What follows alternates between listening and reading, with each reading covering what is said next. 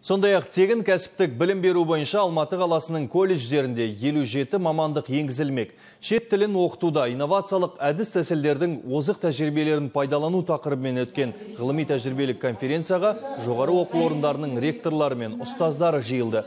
Ниеттеніп оқимын деген жастар еңбек нарығында сұранысқа ие дәнекерлеуші, темір, ағаш жону шебері, автомеханик, құрылыс пен сауда, менеджер мен туризм мамандықтарында білім ала алады.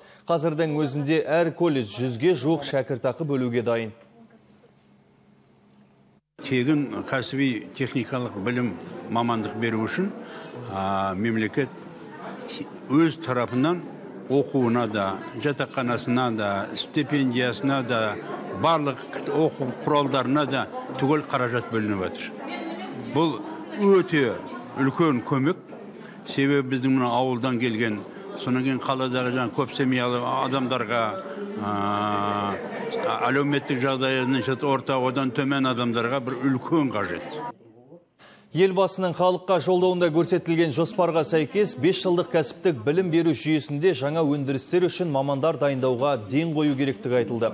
Елімізде 29 жасқа дейінгі 320 мың ауыл жастары техникалық мамандықпен қамтылатын болады. Жастар арасындағы жұмыссыздықты азайту мақсатында 2017-2021 жылдары тегін кәсіптік техникалық білім беру бағдарламасы жүзеге аспақ.